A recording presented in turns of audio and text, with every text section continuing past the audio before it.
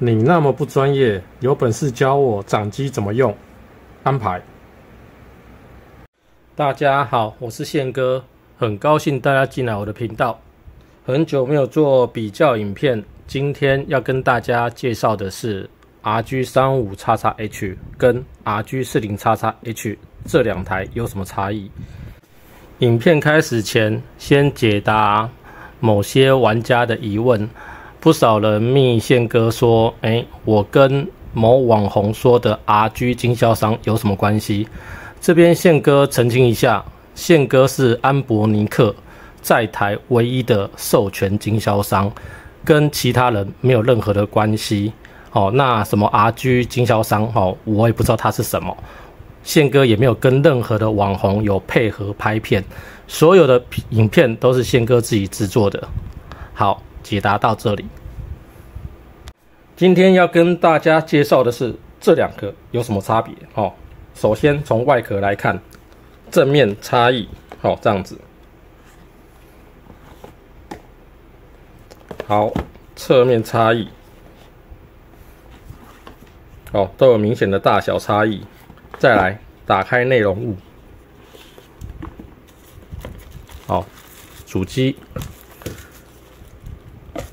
这是电线盒，哦，清洁，哦，保贴说明书。RG 四零叉叉呢？主机电线盒说明书，四零叉叉目前没有附保贴，哦，这是第一个差异。虽然四零叉叉没有附保贴，但宪哥测试，哦，可以拿。RG ARCD 的保贴哈贴上去哦，所以如果要用的话，可以去加购 ARCD 的保贴来贴。第二个差异是颜色差异哦，三五叉叉它有三个颜色：黑色、透白色、透紫色。四零叉叉它有三个颜色：黑色、灰色、蓝色。哦，这三个是颜色哈，这个是颜色的差异。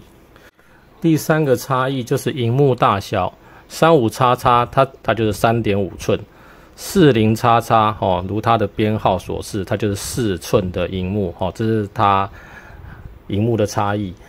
然后有个小小的不同就是，它这边的图示哦，有一点点不同。它这个图示就是它的外形的图示，这边图示就是它的外形图示，荧幕没有触碰功能。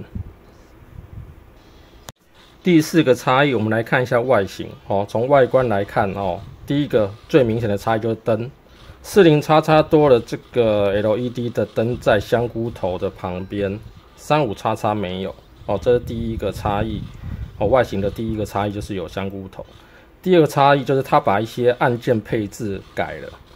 来，我们一个一个比一下，正面的话哦。双 S 键哦，Star Select 四零叉叉坐在这里，三五叉叉坐在这里，四零叉叉这边多了个 M 键哦，这边写着菜单，三五叉叉的键叫做 F 键，坐在上面这里哦，所以设定键都在这边哦。再来上方的比较，四零叉的灯号坐在这里，三五叉叉。它的灯号住在这里，上方依序哈，最大差异就是 L one 跟 R one 的按钮，三五叉叉是这样左右的分别，四零叉叉是上下的分别，其他的按钮哦，耳机孔双 Type C，这 OTG 哦是让你接摇杆用的，DC 是让你充电的哈，中间 Mini HDMI。四零叉叉这边阉割了一颗哦，它只给你一个 Type C 哦，这个是启动哦，音源键哦，重开键 HDMI，它阉割掉了一颗哦，Type C 的按钮。再来后下面，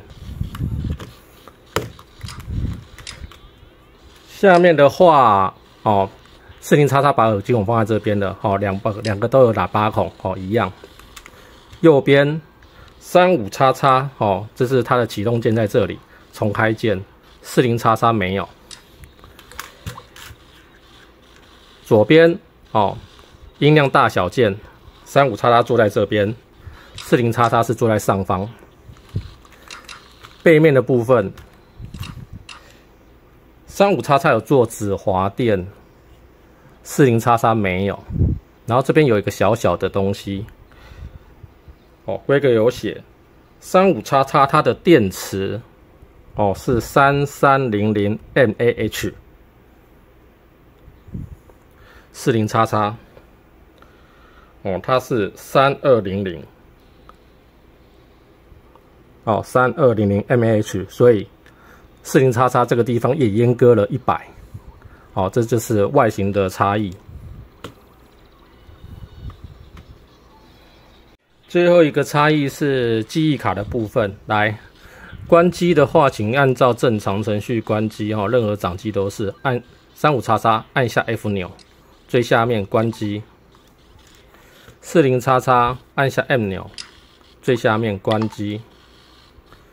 哦，按照正常程序关机的话，哦，掌机比较不容易坏掉。这边我有问过原厂哦，原厂其实他自己也承认，他这张黑卡白牌黑卡有问题。哦，所以蛮多玩家说，哎，不能开机，其实就是这张卡有问题。跟宪哥买，你可以寄回来给我，我帮你处理。所以在四零叉叉之后的机种，其实原厂它有拿的品牌卡了，哦，变成蓝卡，哦，这是记忆卡的第一个差别。第二个差别就是四零叉叉它多了二五六 G 的规格，哦，在三五叉叉它的规格官方规格它只有卖六十四或者是六十四加一二八，哦，那一二八宪哥都会帮你们改成台湾卡，因为毕竟这个黑卡我觉得有一点。普通狗，那四零叉叉哦，首次它多了二五六 G 的规格，所以它可以买的规格有六十四、六十四加一二八、六十四加二五六这三种规格。好，以上是这两台的最大差异。那其他支援什么游戏、支援什么模拟器、硬体配置、CPU、RAM 都一样哦。那个其他的网红。原厂讲的比我更详细，宪哥只做这两台的比较。好，如果有任何问题，可以在底下留言，好，我都会回答给你。今天影片就到这里。